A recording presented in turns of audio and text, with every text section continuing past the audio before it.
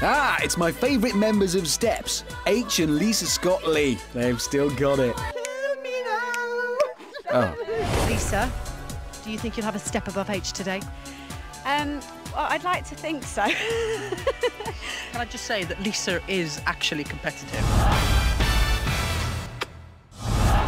But this is a course you can't prepare for. Now, H, is it going to stand for heroic or hopeless today? Uh, or hopefully somewhere in, in the middle. Lisa is up first. I'm small and I'm strong and I'm hoping it's not going to end in tragedy. Ah, because tragedy is a step song. Yeah. Right, she's away. Oh, good step over there.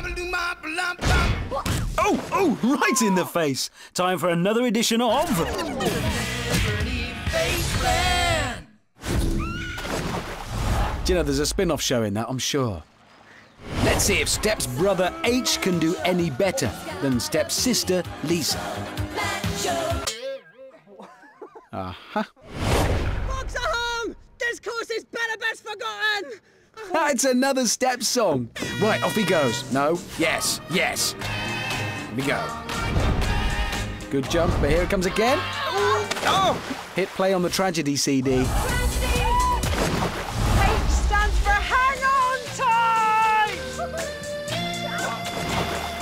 Or not. So back with stepsister Lisa on the big red balls. Here we go. One. That is all. Just one. Classic steps. Is it steps? Yeah, classic steps playing there. Is that sure? Yeah, it is. Onto the cradles, gaining composure. Come on, Lisa, you can do it. Do it for Britain. Do it for Steps. For Faye, Lee, Claire, and I want to say Ringo. Do it for, you know, a- all of them. Or just give up. Lisa Scott Lee completes the course in 3 minutes 24. Back with Steps brother H on the big red balls. Onto the first ball. Not exactly sure how, but he is. Stead as himself, 14 top 10 hits, 15 million singles sold.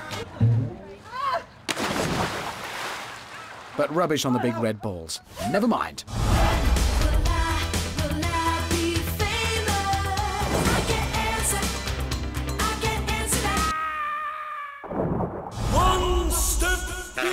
The last battle of today's celebrity qualifier, H from Steps versus the Cradles of Doom. Five, six, seven, eight. Oh. And he's done it! 2 minutes 43.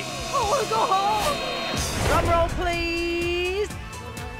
The person who was one step above the other was H. For real. For real. You did really well. Well done, you. Oh, Tar, give me a beer.